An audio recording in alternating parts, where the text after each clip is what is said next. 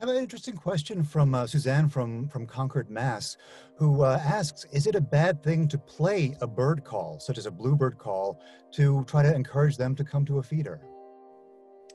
Yeah, that's, that's the big question. Um, and it, um, I, I wrote about that on my blog about 10 years ago. Um, and the, it's, um, you are you're changing the behavior of the bird. So if you play a recording of a bird's song it you're alter, going to alter that bird's behavior. They hear the recording they think it's another bird they come to investigate or to challenge or or whatever. Um, you're luring them out of cover luring them away from finding food or feeding their young or preening or whatever else they were doing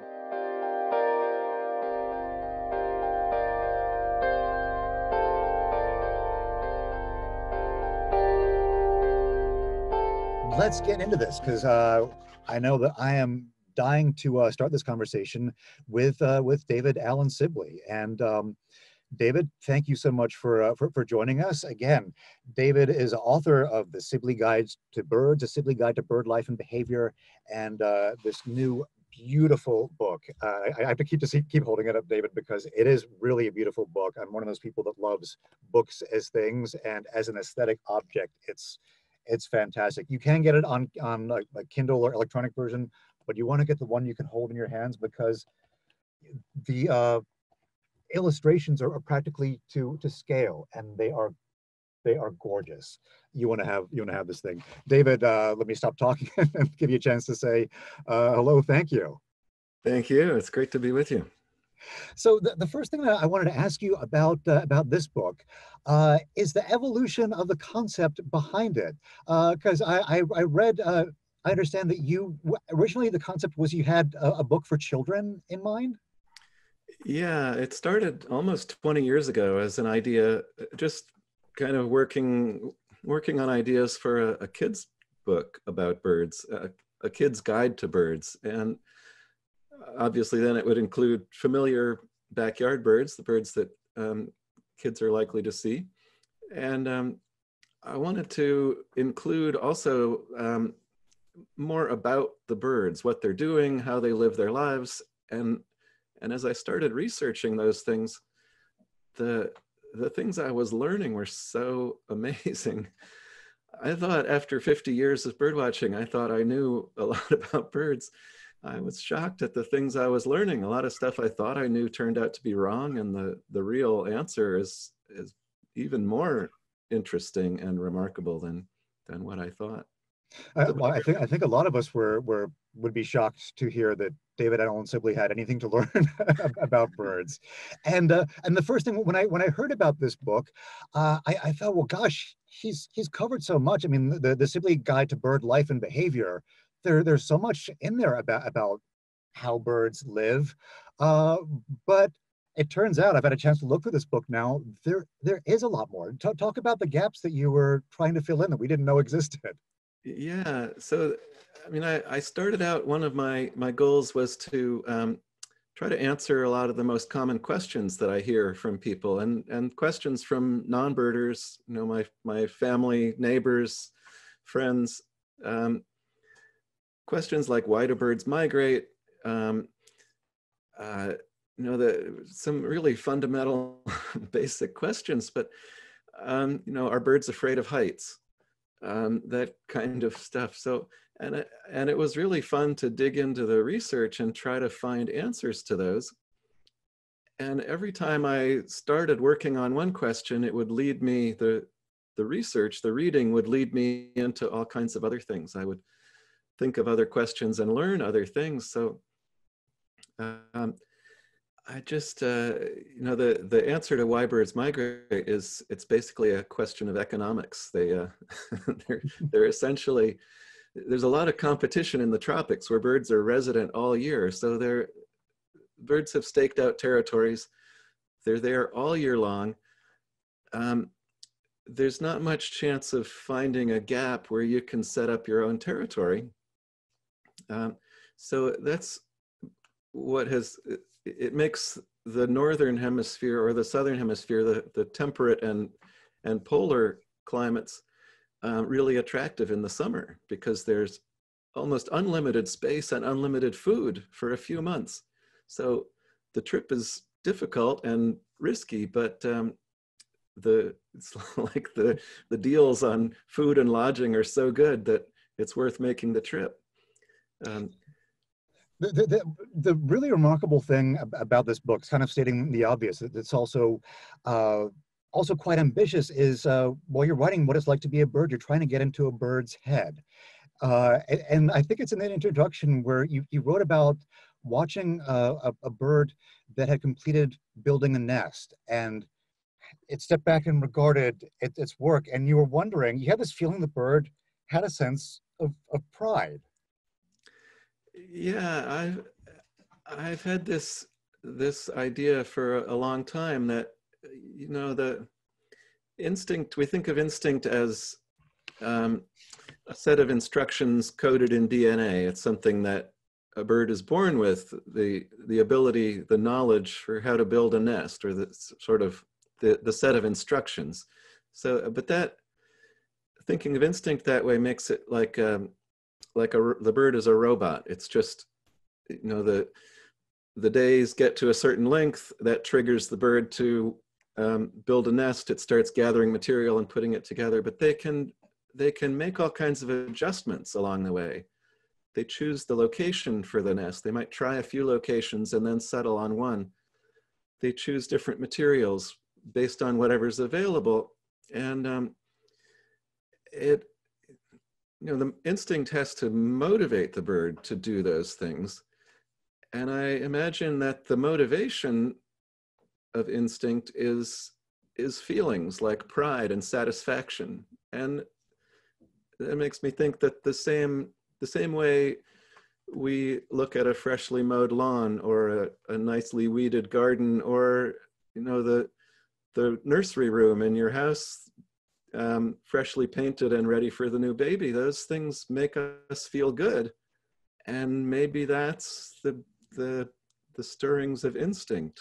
Um, and the, I imagine that birds are probably being motivated by feelings like that.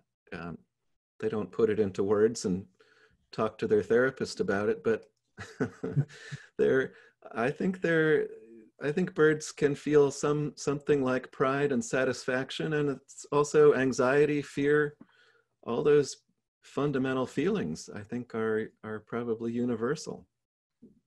For those of you who, uh, may be joining us a little bit late, uh, we are talking with David Allen Sibley, the author of the Sibley Guide to Birds, Sibley Guide to Bird Life and Behavior, and this wonderful new book, What It's Like to Be a Bird.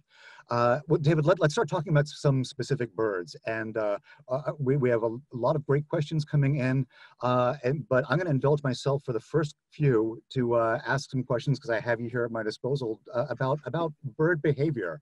Um, I'm, I'm not necessarily the biggest birder so much as I'm a backyard birder, and I develop long-term relationships with, with a, a, lot of, of my, my regulars here. People who know me know that I'm crazy about blue jays in particular. Oh, and yeah. uh, thanks to my being kind of loose with peanuts, uh, developed some, some pretty deep uh, friendships.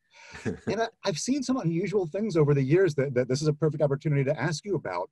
One has been more than once, uh, the blue jays that I've fed have brought me things, uh, acorns to, to be uh-huh. specific, almost like uh, a thank you for all the peanuts. am I, am I, sorry for the pun, but am, am I not? So is that what's happening? Yeah, that's, um, that is really interesting. That's, um, that behavior is well documented in crows and ravens that they, if you give gifts to a crow or a raven, it will start bringing gifts in return. Um, and and they they kind of assign value to things. So if, if you give them something really good, they'll they'll give you something that they consider really good in return. and uh, I actually haven't heard of that in in blue jays. It's that's pretty sophisticated behavior, and um, uh, I haven't heard of that um, being known in blue jays. It's possible that I, I'm just not aware of the research, but that's fascinating. They're close relatives. Jays and crows are related, so it makes sense that that they would. And jays do a lot of really sophisticated things, um, but that's fascinating. Oh, I'm I'm so excited to tell you something that you hadn't heard before. Uh, talking about about jays and crows and and uh, corvids, you know, crows and, and ravens. Um, you you uh, talked about that there are things that we you know a lot that I know has been learned about crows and ravens intelligence since the last time that you wrote a book, and that's something that you write about in uh, in, in this, which was kind of fascinating. Um, one of my favorite parts was that the Aesop's uh, fable about the thirsty crow. Uh, maybe yeah. you can tell that story, but it turns out the fable is not really fabulistic. yeah, yeah. So the fable is a, a crow finds a, a pitcher. It's a thirsty crow. It finds a pitcher of water, but the water is too deep in the pitcher for it to drink and it, it goes around and finds rocks to drop into the water, which raises the level of the water up to where the crow can get a drink.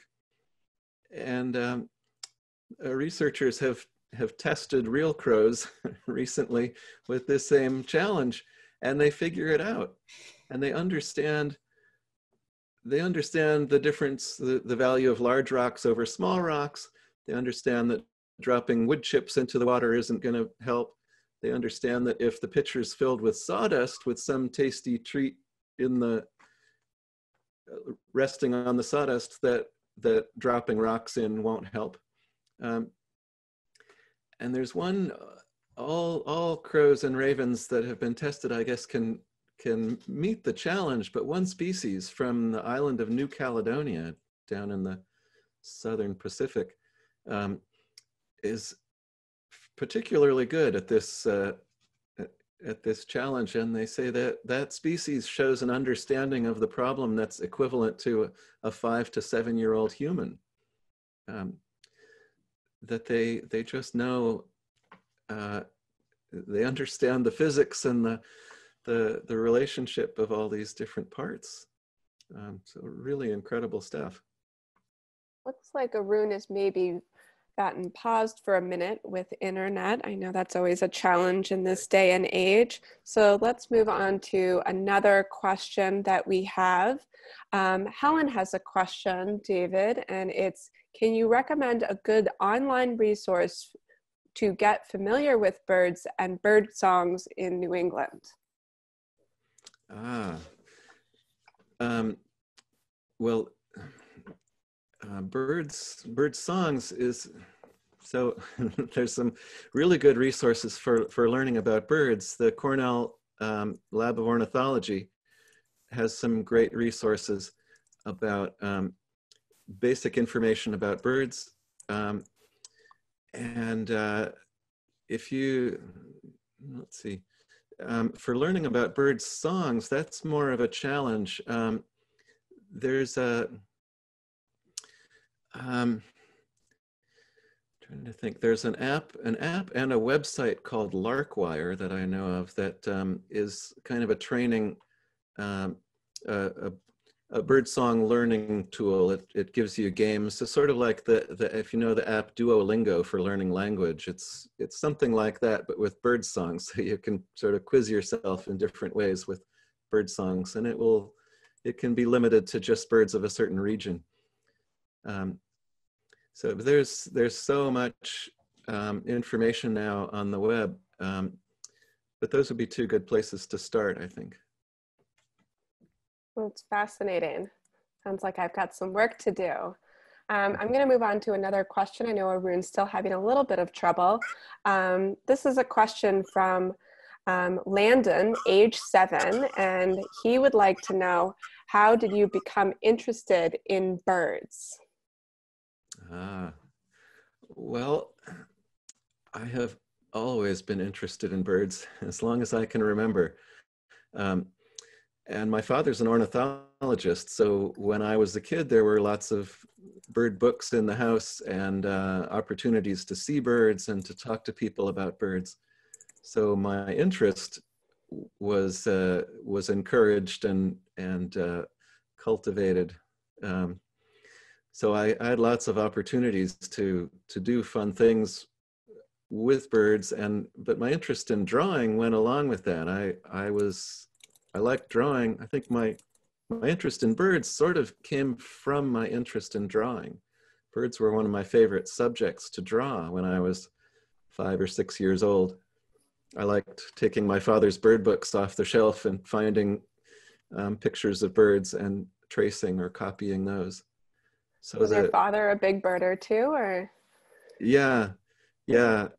He's um uh and so once i i got interested in drawing birds and and uh and then he was taking me out on weekends to go for walks and and see birds in the wild. And uh that was you know that became really fascinating. So the two things really went together. I started drawing and then my interest in birds uh, went out into the into the field. Um, wonderful. Sounds like a great way to get started. Um, so I'm going to like take another question. I know Arun is still having a little bit of a, a, challenge here, but just a reminder to the audience that if you have questions that you would like to ask David, you can just open up that Q&A tab at the bottom there and type your question in.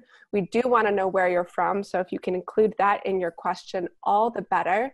And if there's a question that you see in that Q&A tab that you would like to hear asked, something that you are interested in knowing as well, you can vote for it. Just click that little thumbs up in the corner there.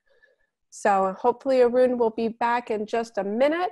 Um, and in the meantime, we are going to go to Susan's question. It looks like a lot of you want to hear the answer to this. Um, David, Susan would like to know there seem to be many more robins this year in eastern Massachusetts. Is that true? Or are they just taking over more territory because there are fewer humans out and about? Ah, um, well, if uh, um, if I could ask a follow-up question, I wonder if you're if you're thinking of robins in the winter or robins in the last few weeks. They um, robins in the winter are really sort of nomadic. They wander around in flocks and find fruit that's left on trees and bushes. Um, so they can appear and disappear, sort of move into an area for six weeks and, and eat all the fruit and then disappear. Um, and one winter you might see huge numbers and the next winter almost none. Um, this time of year, I think um, if you're seeing more robins than normal now over the last few weeks, this is nesting season. They're already here in, I'm in Deerfield, Massachusetts, out in the western part of the state, and they're they're already robins sitting on eggs on nests here, so they're well established on their territories and done migrating. Um, and uh, I think if you're seeing more now, that would maybe be just as a result of um, uh, places being um, less populated by people, um, uh, parks and lawns being open, and the robins having uh, having the freedom to move around. And maybe also uh, the fact that you're, if you're staying in one place and, and just walking around your neighborhood, you're more likely to notice these things. Um, I'm hearing from a lot of people who are noticing birds now um, just because they're, they're staying local, staying in their yard or in their neighborhood and, and walking the same paths every day. Um, and that's when you really start to notice what's going on and what's changing each day. So interesting. I know that we have still, it doesn't look like Arun is quite back yet. Um, but we have a special visitor. This is Craig LeMoult, also from a newsroom. So, um, Craig, I'm going to have you introduce yourself. Thank you so much for being here. I know that um, little backstory for everyone. This whole event came apart, came together because of Craig and a story that he had done. So, welcome, Craig, and thank you so much for being here. It's fantastic to be here, and it's great to see you again, David.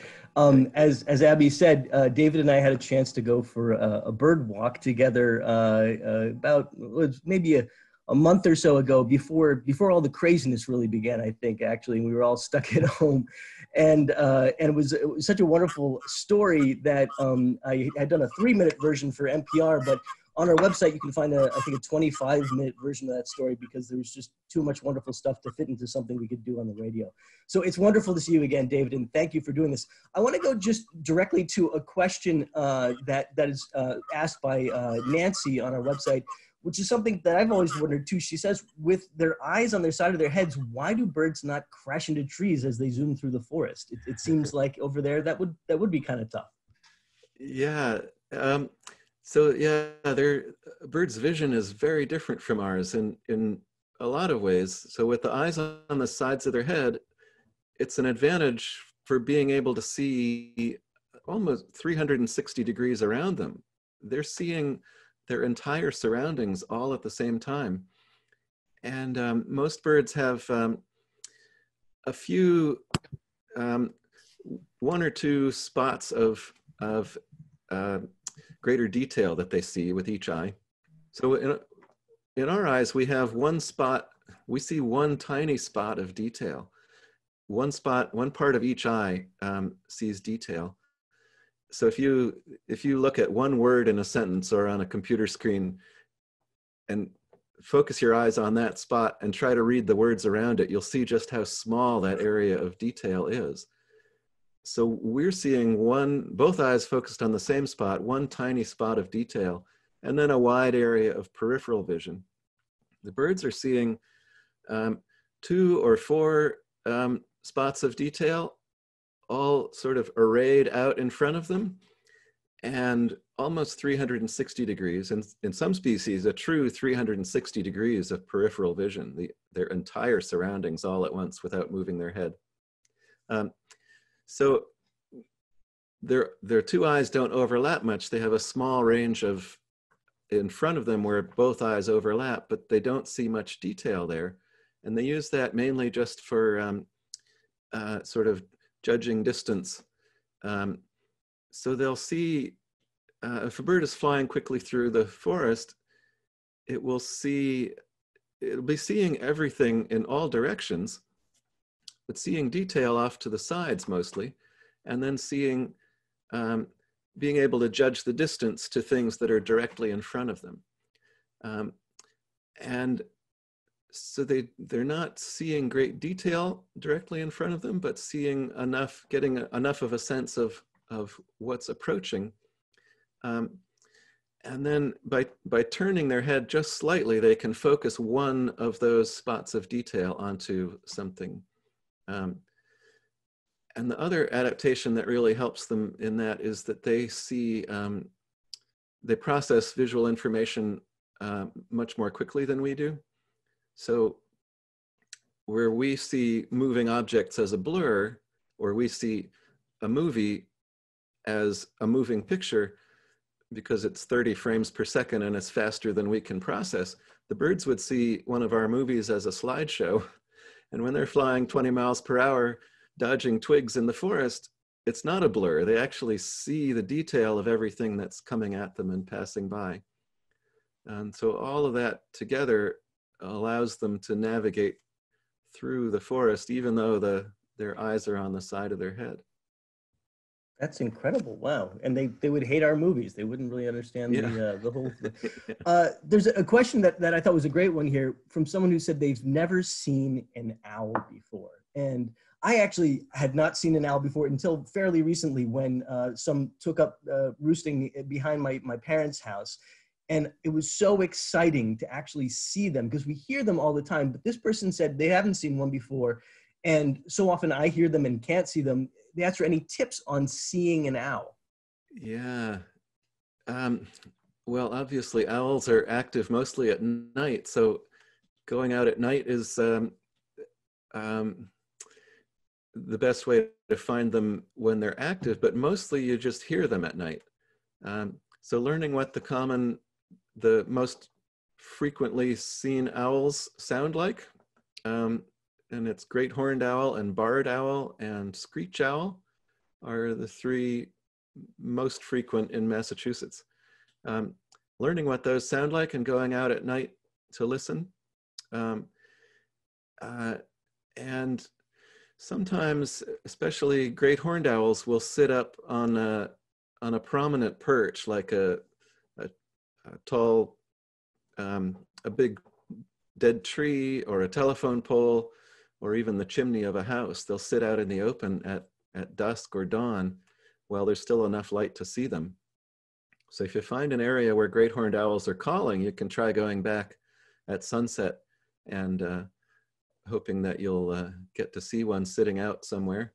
Um, they spend the day roosting in secluded places, trying, hoping that they won't be discovered. Um, sort of usually hidden in in dense foliage or um, uh, even in a hole in a tree. Um, and there are they're very sensitive to disturbance. So it's um, it's uh, people are always reluctant to give away the locations if if they've found a roosting owl. Um, it's generally not uh, advertised, not broadcast to the birding community where this owl is because they're they're very sensitive to disturbance. The daytime is their time to rest, and if they're discovered and disturbed in their daytime perch, um, it's just a lot of extra stress for them um, and could be uh, could be dangerous but if you're um, sort of searching around just checking out holes in trees you might find a screech owl peeking out of one um, and uh, uh, looking into if you know owls are in an area looking into dense foliage like in a spruce tree um, looking for an owl perching in there and one of the clues to one an owl's favorite perch is that the, the ground underneath will um, build up a uh, an accumulation of whitewash and uh, pellets. They regurgitate pellets of the undigestible parts of their meals. So if an owl has a favorite perch in a tree somewhere, you can see the signs on the ground underneath that and then look up into the tree and search through the foliage looking for an owl. And if you dig through those pellets, can't you actually find little skeletons of whatever it was the the owl had for dinner? Yeah, yeah. So they they regurgitate the fur and the bones, the the parts that they can't digest, and um, researchers have done studies of owls' diets by by gathering pellets, taking them apart, and identifying the remains, the skulls of mice and shrews and um, birds and other things that the owls have been eating. That's great. Um, a question from Richard is, uh, I think, a news you can use kind of question here. Should I clean out my backyard birdhouses after chicks fly? Um, I think it's a great question. When they're gone, you know, is it is it better to clean it out and give a space for for new nests to come in, or do birds, you know, new will new birds want to use what's in there? Yeah, I think the um, uh, I did a little bit of research about that in, in working on my new book. Um, and it sounded like the, um, the jury's still out to some extent that the, the thinking is that birds won't generally won't reuse a nest. They'll build a new nest for each brood, even if they have to build three nests in a season for three different broods, they'll build a new nest each time.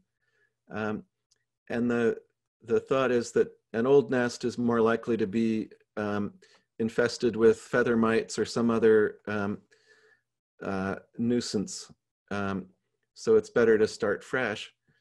Um, but cavity nesting birds like bluebirds, house wrens, tree swallows, the things that would use a birdhouse, their nesting sites are much more limited and they will reuse a box even if it has an old nest in it. They'll just bring in some new material and, and add that and I know at least one study found that there was no real preference or and no real difference in the success of birds um, using a box that had an old nest in it or or fresh. But generally, the advice is to clean out the box after each season um, and uh, give the birds a fresh start. And if nothing else, it especially with wrens, they they stuff the box full of so much so much material, sticks and grass, that the it can get so full that it's uh, it's impossible for another bird to get in there and, and build a nest. So clearing all that out at the end of the season and letting the birds start with a fresh box, I think is, uh, is generally the best advice. Great. Okay. Another great question here. Uh, uh, Joe says, I'm curious about if there are notable interspecies rivalries among feeder birds or if some of the behavior we see is based on personalities of the individuals. He said, for example, the, the mourning doves seem unbothered by everyone and blue jays seem to scare everyone else off. Um, uh, I, I, had a chance to see your backyard bird feeder when, when we did that story uh, a month or so ago, and, and there's a lot of activity and a lot of different species there. What do you see in terms of, of how they're interacting with one another? Are there are there uh, you know extroverts and uh, and and grumpy uh, bird species as well?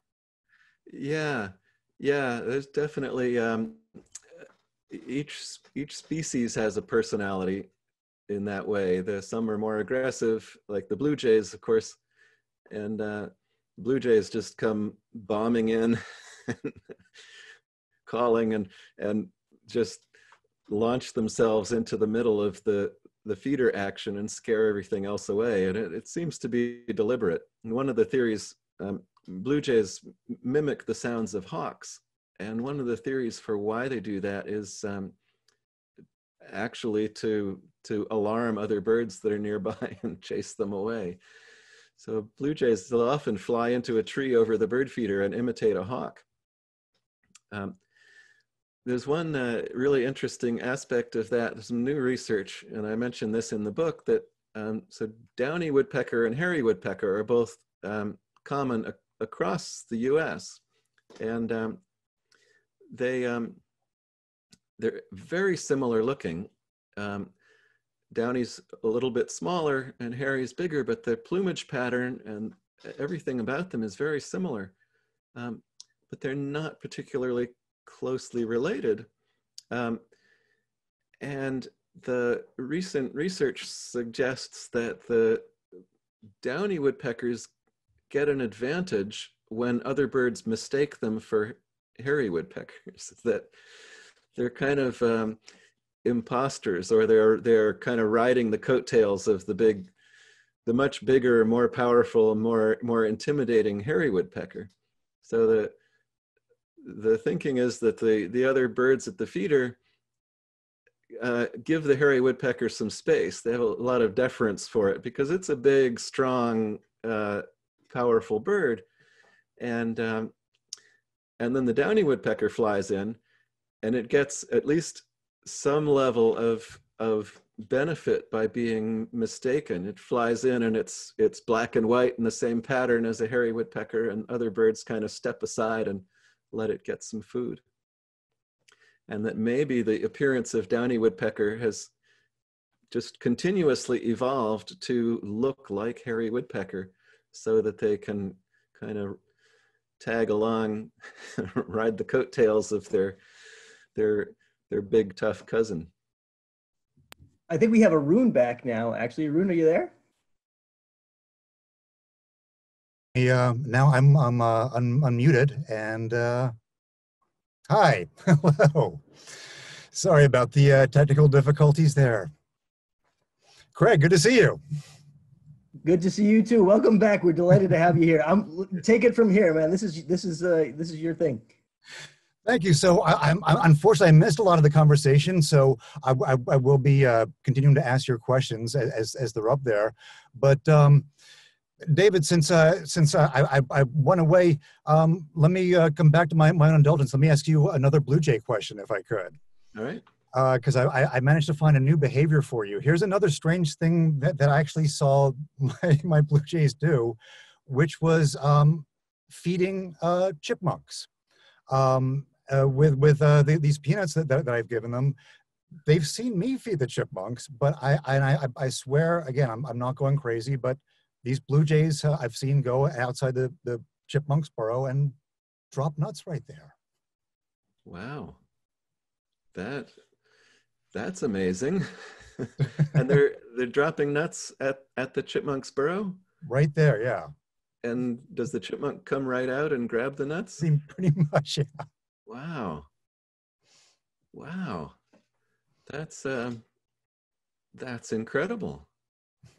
That's uh you've got some amazing blue jays. I, might, I, might, have to start taking uh, taking some some more film of them. Yeah. But, you know, David, one question I wanted to ask you, and uh, tell me if this is something that you you addressed, is that I'm really curious about how your artistic process works when you're painting. Uh, you know, it must be. Are, are you you can't, you can't be working with live subjects necessarily, or do you go to get out there in the field and sketch with live birds? Yeah, I do a lot of sketching in the field, and I, I have, and that's what I did um, for uh, about 12 years straight in the in the 80s into the early 90s. I was just in the field every day sketching, just doing pencil drawings, and and uh, um, and then when I'm back in the studio, I, I do all of my painting in the studio. So I'm I'm looking at my pencil sketches mostly for inspiration and just sort of refreshing my memory or um, revisiting my experiences, and then using photographs as as reference material to make sure I get all the colors and markings and shapes right. Um, uh, but that's um, pencil sketching and and field sketching is really a critical part of all of it. The the um, photographs are good for for checking details, but um, the photograph, an individual photograph can be pretty misleading. So all of my field experience and my, my sort of understanding of the birds that comes from sketching um, helps me to sort of interpret the photographs and turn that into a painting. How, how long does it take to get from the sketch to, to, to that glorious stage? Um, yeah, so that a, a painting like that um, takes a, a, few days. It's um, um, a few hours of working with pencil to just sort of get the get the shape that I'm looking for, the get the outline right, and then I I have a an opaque projector. So once I have a pencil sketch that I like, I I put the sketch into the projector. It projects down onto a tabletop where I put the the sheet of paper I'm going to paint on and I trace that sketch. I can adjust the size and then trace that sketch, the outline of that onto the paper. And I start with a pretty rough outline and then add all the details with paint. Um, so the painting, sort of building up the painting could take anywhere from two days to four days um, working on something like that. You know, one of the things that, that I love most about your, your paintings, I, I feel like it's it's hard to capture with uh, with, with, birds, is uh, this quality of a bird's eyes uh, that that are are unusual, very different from our, our own, and uh, somehow seems to reflect a certain amount of personality or, or character. And uh, I, I, know when um, in cartoons they, they they'll they'll cheat even well animated birds with feathers they put human eyes in them to to, con- to be able to convey them. But but you're again I mean come come to this this beautiful great blue heron. Um, first off, is it is it hard to capture that and, and uh, how do you do it so well?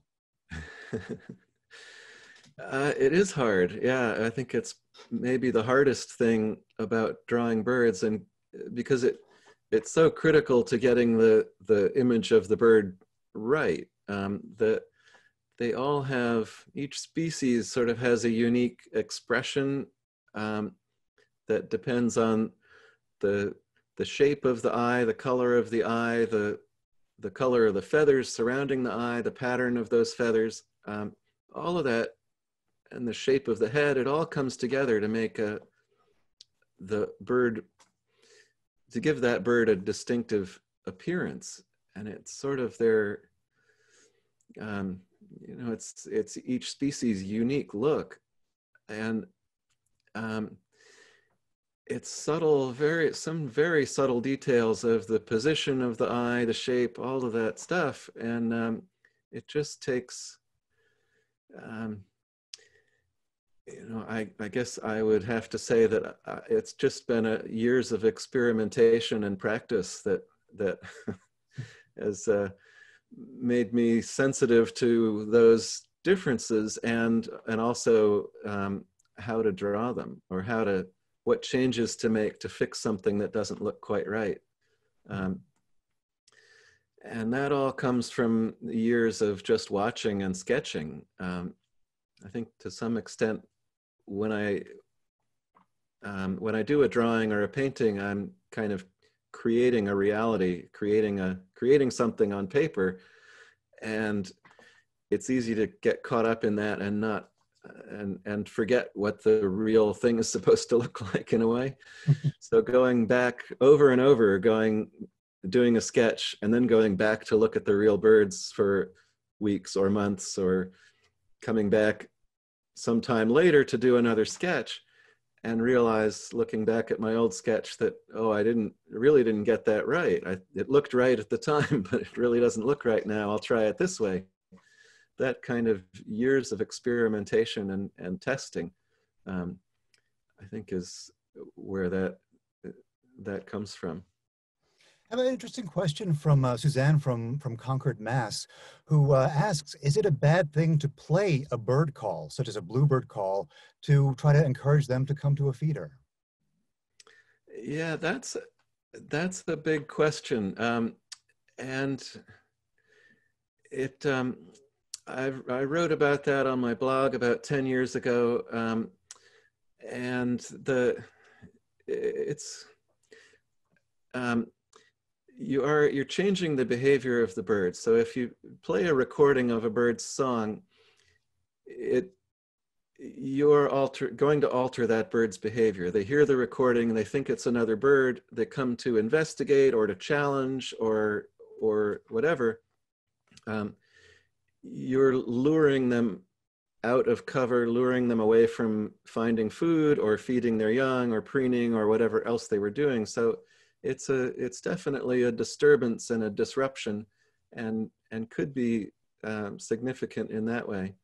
Um, but recorded calls have also been used successfully in in a lot of places to attract birds to a, a new nesting area or um, things like that. The um, so uh, I'm not sure it would work to, especially this time of year, it would not, probably not work to attract bluebirds to your yard, to your feeder. If, if they're, you want them to come for food, but this time of year, if you play a, a bird's song, it, the birds that hear that will think that there's already someone on territory there.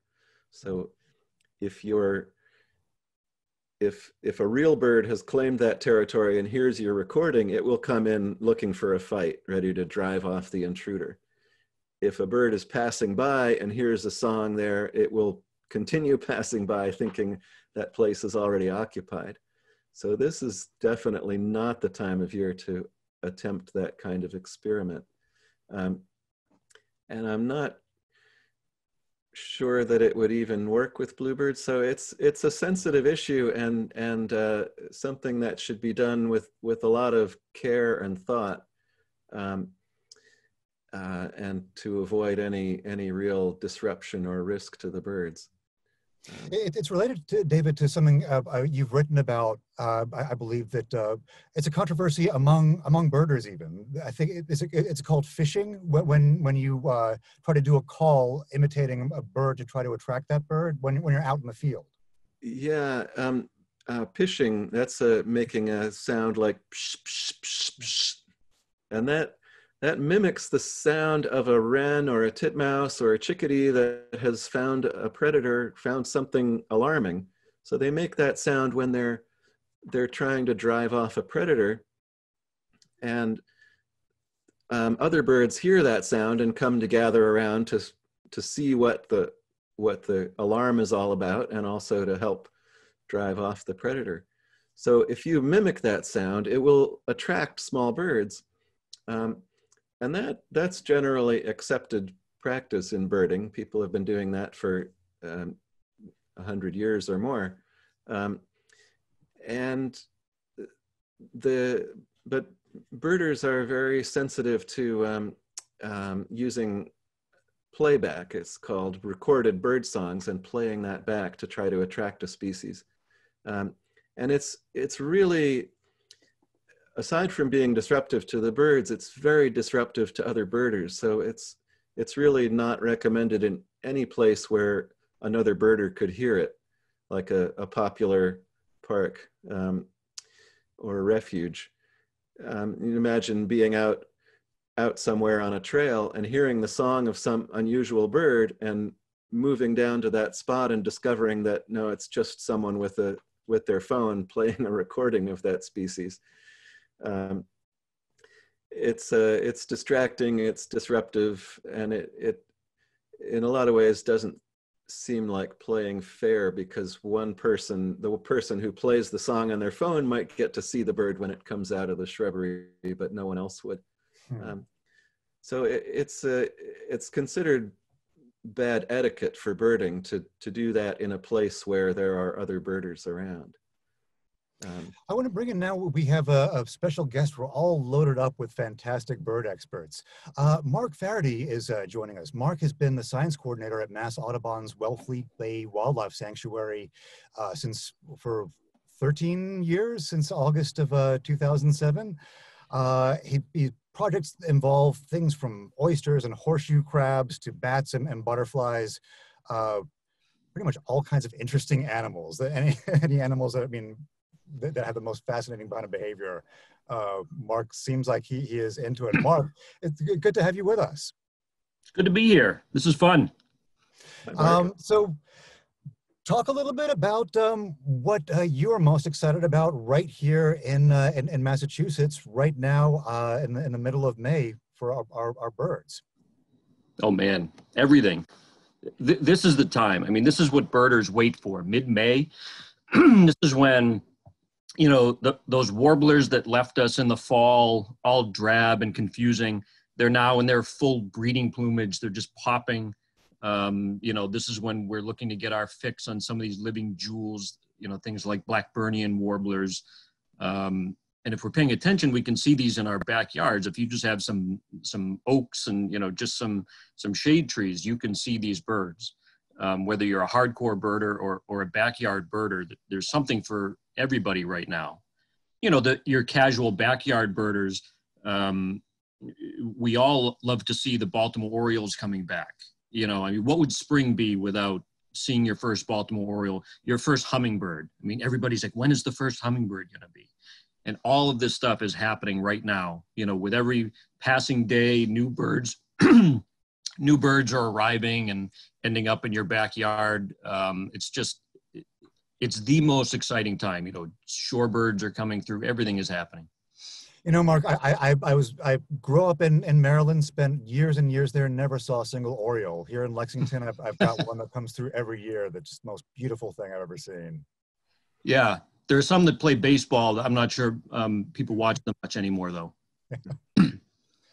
And uh, I, I, know even with um, some of the birds that, that are, are, around most of the year, like uh, the goldfinches that, that I have that, that live right next to our house, uh, seeing those boys with, with, their with their spring feathers, they're almost like like different creatures.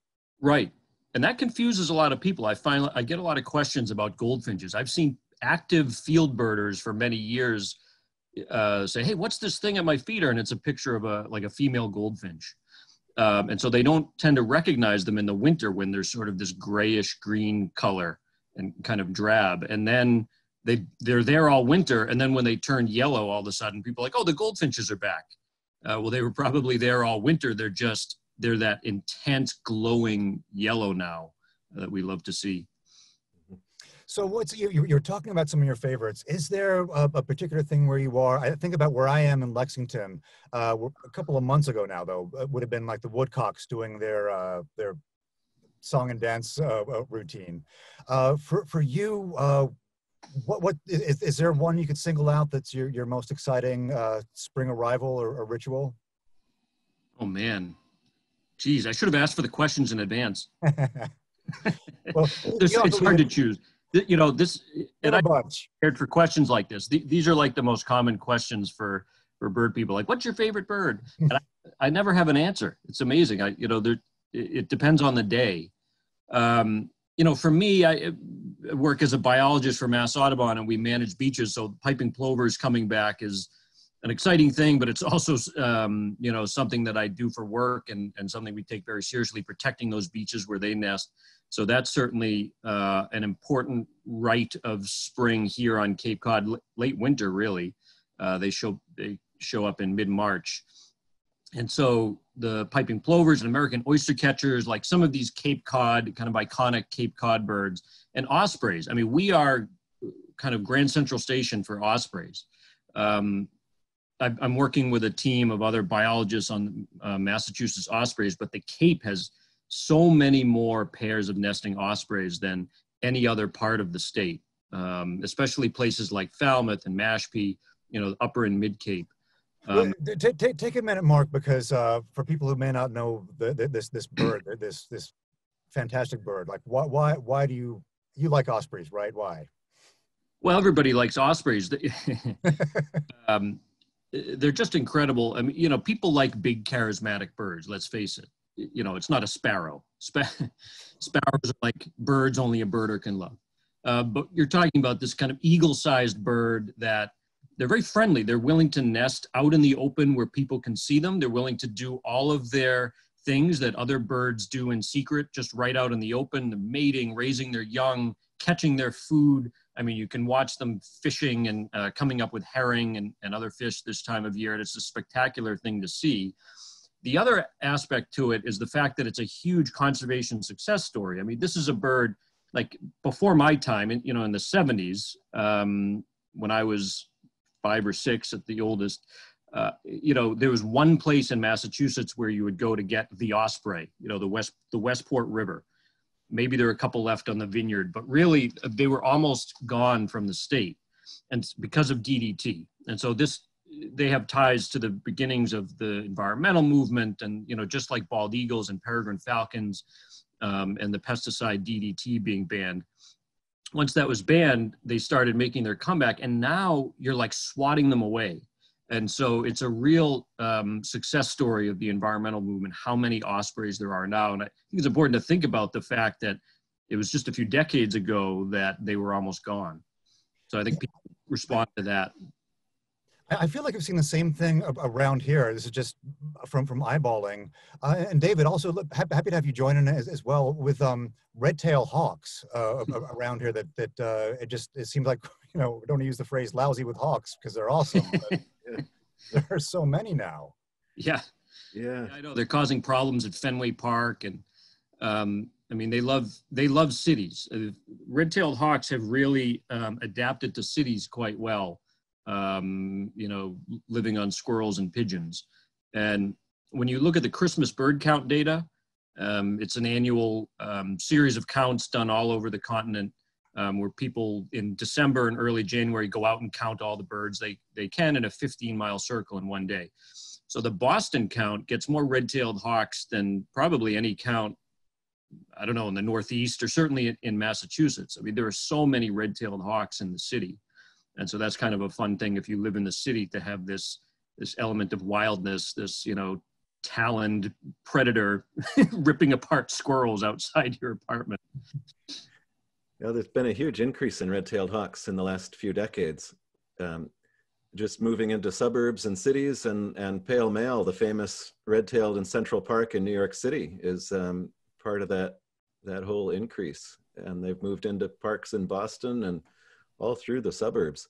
It's probably a combination of uh, the same, probably a, a little DDT um, recovery, the same as osprey, but also um, uh, less less hunting.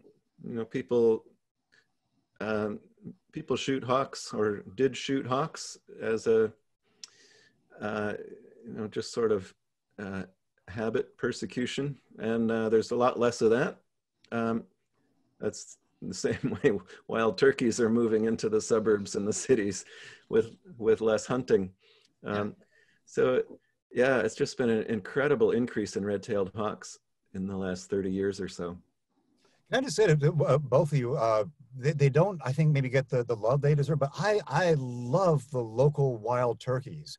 Uh, and and though those toms in their glory, like they would put a, a male peacock, a peacock to shame. You yeah. love them because you're not a mailman. it's been well documented. They're attacking mailmen. Um, but yeah, they, not everyone loves the turkeys, but I love them. I mean, they're like comic relief. Um, once they took over uh, where I work, Wellfleet Bay, Mass Audubon's Wellfleet Bay Wildlife Sanctuary, the jewel of the Mass Audubon system. Uh, we didn't have them until about five years ago, amazingly. Though they had been on the outer Cape for many years, Truro and places like that. And then once they got established, we were like, yay. And then they're just there. You know, they're under the feeders, they're around, they're looking, they're looking at me in my office window, just kind of like tapping on the glass sometimes. They're like comic relief. They're they're they're fun to have around.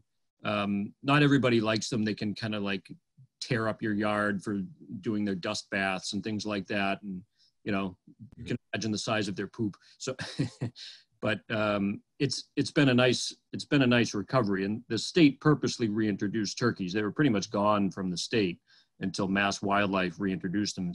Every turkey on Cape Cod, for example, um, descended from birds that were released in 1993, I want to say. Hmm. New, New York and Western Mass birds. So it's another it's another recovery. Um, and yeah, see, incredible success story. I have a, a fun Great. fact about wild turkeys that I, I included in my new book that they all the domestic turkeys, um, all domesticated turkeys descended from um, the ones that were first domesticated in southern Mexico in like 2,000 years ago. The the Native Americans in, in Mexico had uh, domesticated the turkeys. So when the Spanish explorers arrived in the early 1500s, they found this giant exotic domestic bird and brought some back to Europe. And they were very popular and easy to breed, so they spread throughout Europe. And when the pilgrims left England to come to Massachusetts, they brought turkeys with them on the Mayflower, domestic turkeys from Mexico. they brought some with them to Massachusetts, and then we're surprised to discover wild turkeys here in Massachusetts. It was almost exactly 100 years from when the Spanish brought turkeys back to Spain, and they had uh, spread throughout Europe in farmyards throughout Europe, and then were brought back to the back to North America uh, by the Pilgrims. So some turkeys with some very complicated lineages. yes. Mark, it's, it's been great having you uh, here. Uh, th- th- th- thank you so much. And, and um, got to get you on, on, on the show sometime as well. It's fun talking. Yeah, I'm available. Thanks. Thank you. Bye, Mark. Uh, David, uh, well, first I want to get to another uh, listener question. Uh, and, and this is a nice one. Uh, do we have any idea why robin's eggs are, are blue? It would seem like that would be a color that might attract attention. Yeah, that's that is a very good question, and I I did not run across any any answer in my research. Um, and uh, yeah, the the thrushes. There's quite a few birds with bluish eggs. Um, robins and and the other thrushes have bluish eggs, and catbird, which is sort of distantly related in the same family as mockingbird, um, also has uh, really bright or deep blue eggs. Um, it's an unusual pigment that is in those eggs and um, uh, uh, but I didn't run across any suggestion in my research of why those eggs are blue. That's the kind of, those why questions are the hardest ones to answer. Um, it is, um, there's a, a, lot of birds have spotted patterns on their eggs, a, a pattern of dark speckles and spots. And I had always assumed that that was for camouflage, and it certainly is for ground nesting birds like killdeer, um, the piping plover. Their eggs blend in with the sand or the gravel that they're they're laid on. Um, but for most birds, it turns out that those dark spots are really to help strengthen the eggshell. And it's a substitute for calcium, which is a scarce resource that's difficult for the birds to get. So the, the dark spots are the pigment melanin, which has, it has the property of strengthening whatever material it's, it's um, incorporated in. So um, a lot of birds have black wingtips. That's that's melanin in the feathers to help strengthen those feathers, and the wingtips are subject to a lot of wear and and uh, sunlight and all that. So the dark spots on eggshells in most cases are are to help strengthen the shell. Um, so the birds need less calcium in their they, they can preserve a little calcium in their body instead of having to put so much into an eggshell. And it's possible that the whatever um, pigment, the, the blue color in robin's eggs might have some property like that. It probably has nothing to do with how the eggs look, or it, I shouldn't say that. It might, it might be something unrelated to how the eggs look. It might be something about strengthening the shell or some other property of the eggshell. A question about um, feeders that was actually I know this is answered in, in your book, so so I, let me put it to you. I, I had been worried uh, at the back of my mind for a while about all the feeder birds that, that I have that um, making them dependent somehow on, on this food with all the peanuts that I give the blue jays, uh, goldfinches that seem like they do nothing but sit and, and eat thistle all, all, all, day. But uh, from what I read in your book, I, I, I shouldn't worry about that. Yeah, all the research that's been done um, shows that birds only use feeders as a supplement. Um, even uh, one of the most important studies on, on, that question was done, I think, in Wisconsin at some bird feeders at a state park that had been filled continuously for something like 30 years. So generations of birds had grown up with these feeders and, and visiting constantly. Um, the researcher took the feeders away periodically and, and monitored the local bird populations to see how the birds were faring. And um, it turned out that none of the birds were using the feeder for more than 50% of their food. And when the feeders were taken away, the birds went, they could find all they needed um, in the wild. Um, and the other thing is that when, when birds are raising young, they instinctively um, find other really high quality food for their young. Um, and chickadees, I highlight this in the book, that the chickadees feed their young mostly insects, insect larvae, especially little green inchworms, things like that. Um, but for the first week after the chicks hatch, the adults are seeking out spiders in a higher proportion.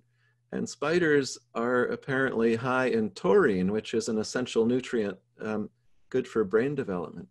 So the chickadees, the adults might be visiting your bird feeder to, to get food for themselves, just to get a quick snack.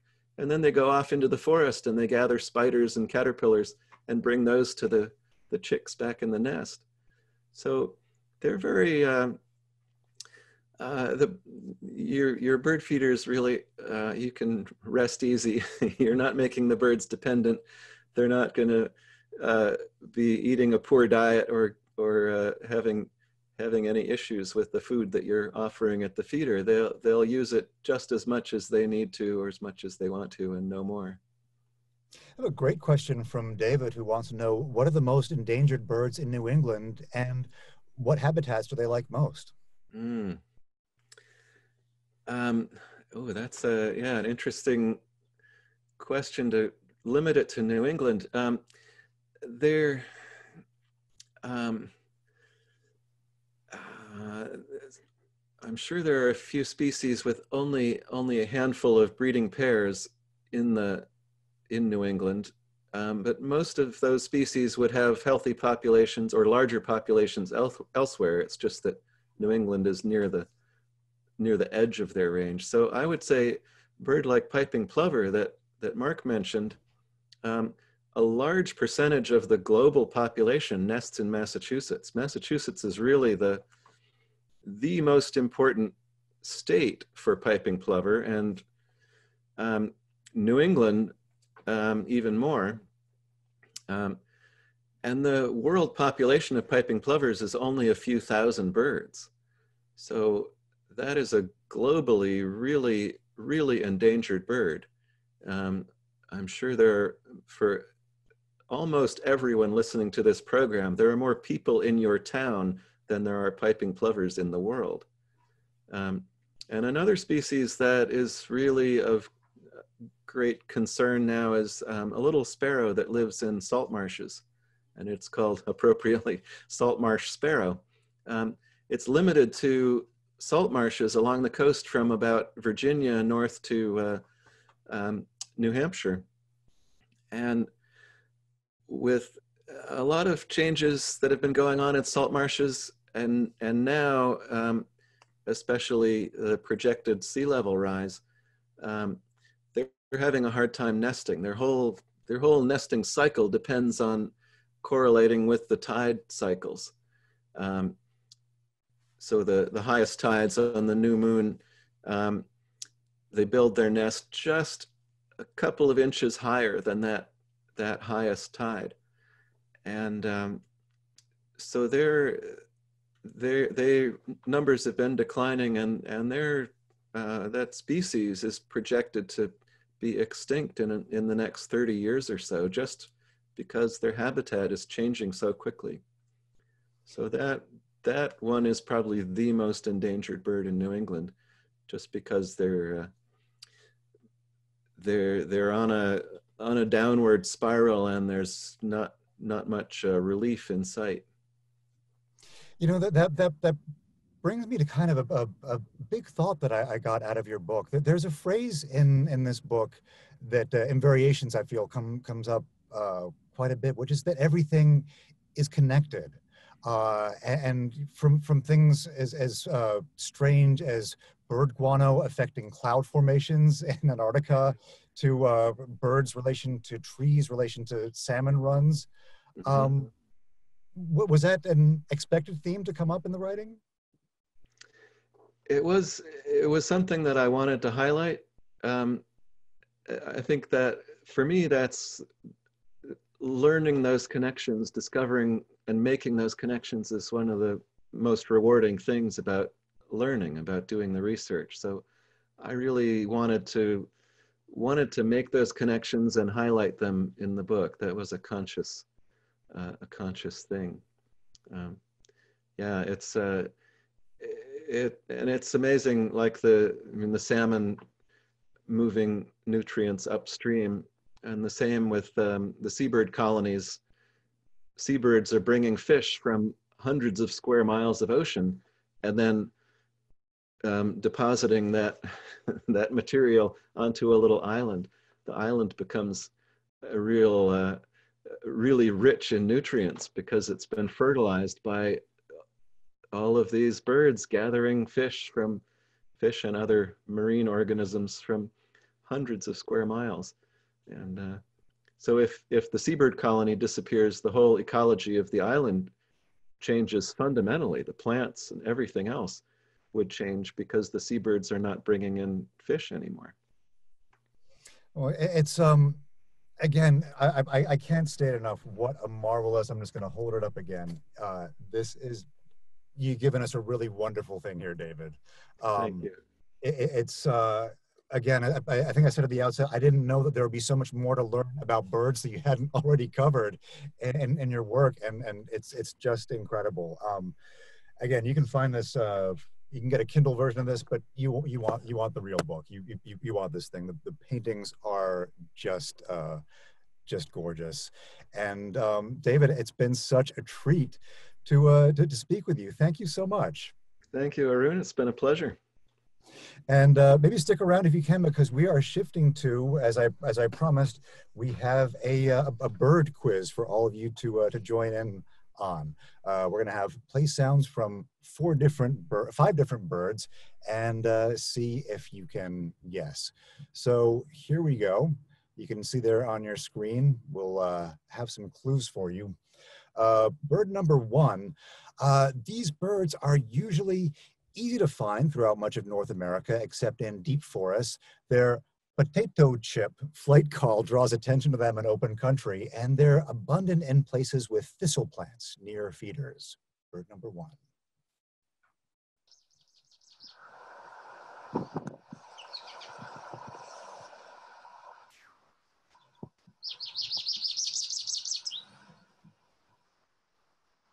Anybody get that? I, I, think I think we're, we're getting some uh, responses. Make sure you turn up the sound on, on, on your computer.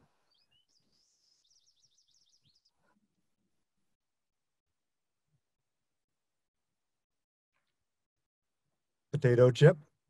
That is uh, the American goldfinch. Uh, we have loads of these out, out outside. Uh, actually, right outside my window, I can even see one right now. Uh, very lovely birds, fun to have around, and they do love that uh, that thistle seed. All right, next candidate. Remember to uh, turn up your sound for those of you playing at home. Everybody's playing at home. Bird number two is the quintessential early bird. They're, they, you can see them on lawns across North America. Uh, I've got a pair of them right here uh, in, in, in, my yard here in Lexington who are about to uh, raise a family.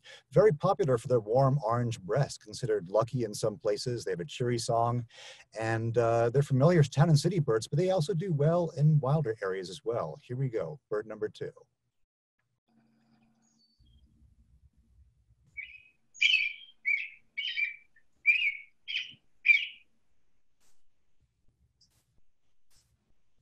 Recognize that?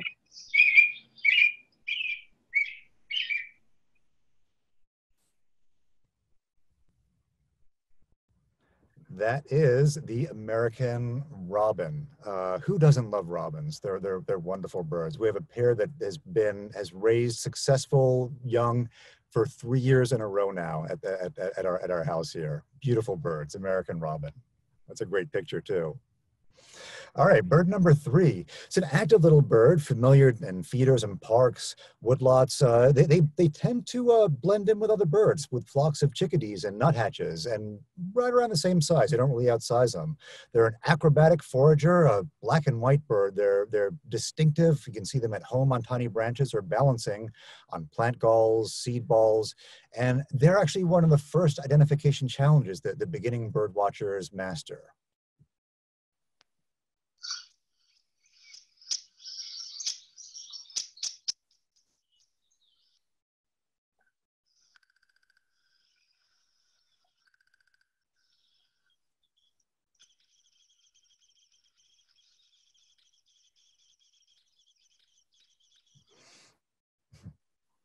And if, if the song didn't give it away, uh, probably the, the, the tapping gave you a pretty good clue that that is a woodpecker. In this case, the downy woodpecker. One of, one of these uh, lovely creatures uh, tried to make a home in the siding of our house a couple of years ago. Uh, but aside from that, they're pretty great to have around. Uh, bird number four. Uh, a bird almost universally considered cute thanks to its oversized round head, tiny body, and curiosity about everything, including humans. This is not going to be a hard one. These birds have a black cap and bib, white cheeks, and uh, have a whitish underside with buffy sides that is distinctive. And they're, they're, they're very curious birds, will hang around your feeder. And uh, here's another clue. It's a bird that says its own name. Here we go.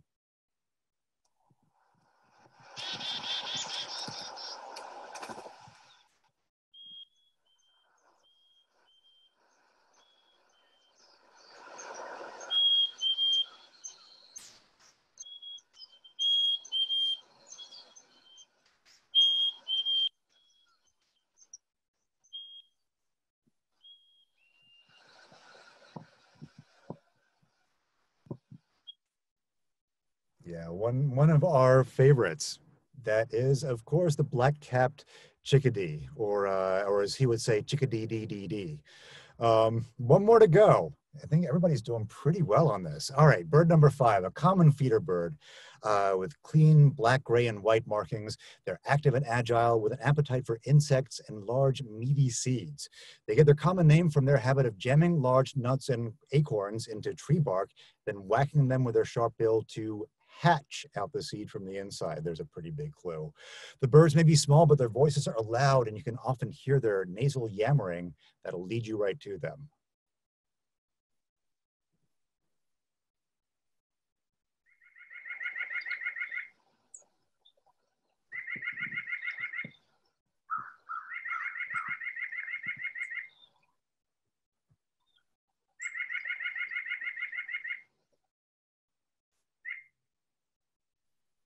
Yep, combine nut and hatch, and you have the white-breasted nuthatch. Uh, another bird that uh, I got to say, all these are birds that I know very well. Uh, frequently come to uh, to our feeders and visit us here in Lexington. Well, that is it. You all did very well. It's it's been uh, just fantastic to uh, to, to be able to do this with all the participants and with all of you. I mean, uh, hundreds of people joining in who are enthusiastic about birds. Uh, it's, a, it's a pretty wonderful thing. Uh, sorry about the technical problems, but everything went really well. Thanks to Craig LeMoult for, for jumping in and helping out and everybody involved. Uh, I wanna mention one more time David's book, What It's Like to Be a Bird. It, it's, it's a beautiful book uh, and it's, it is just wonderful. Thank you so much to David Allen Sibley and uh, all of you for, for joining us. This has been great fun. Uh, have a great time birding. Thank you.